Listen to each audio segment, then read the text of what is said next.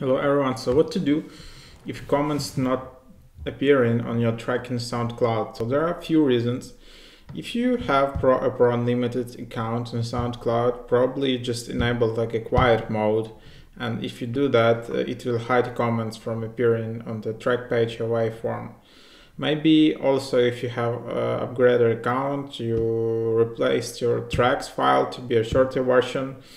Uh, they, so the comments will still appear the comment section, but won't show avatars on the waveform. So if you replace your tracks, that can be the issue.